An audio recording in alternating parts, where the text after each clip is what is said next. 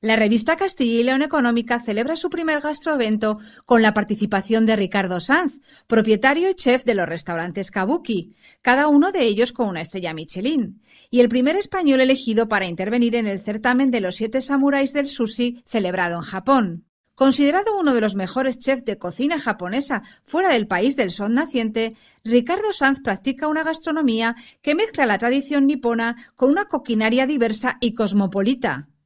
Y así en sus restaurantes se pueden degustar desde un surtido de sasimis con cortes tradicionales de pescado hasta un sashimi de salmonete o de cigala y elaboraciones mucho más transgresoras como los uzukuri de toro con migas de pan con tomate. Cocinero libre y sin complejos, innova tanto en los cortes como en las elaboraciones. La cocina que, hacemos en Kabuki quizás sea una mezcla de la cultura gastronómica japonesa y la cultura gastronómica española y, por qué no, de, todo el mundo. ¿no? En, Japón les cuesta mucho trabajo innovar, ellos eh, siguen escrupulosamente la, tradición y, para ellos hacer algo nuevo les, les, cuesta trabajo. Quizás donde se vea más innovación en la cocina japonesa sea fuera de Japón, con la cocina Nikkei de cada país. En el gastrovento que contó con el patrocinio de The Singular Kitchen y la colaboración de la bodega Abadía Retuerta, se pudo asistir a una exhibición de Ricardo Sanz y a un cóctel elaborado en exclusividad para los invitados de la revista Castilla y León Económica. Gastroventos Castilla y León Económica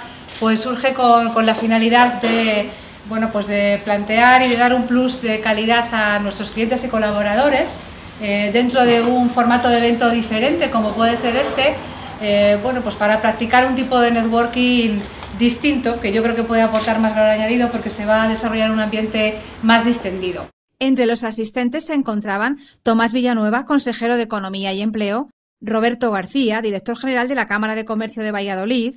Juan Alanís, director general de Global Exchange, Beatriz Escudero, consejera delegada de Farmadus, Roberto García Iglesias, consejero delegado de GRI, Antonio Fernández Álvarez, director general de Renault Consulting,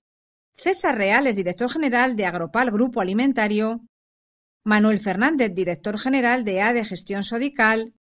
Rafael Barbero, director general de la Fundación Caja de Burgos, Enrique Valero, director general de Abadía Retuerta,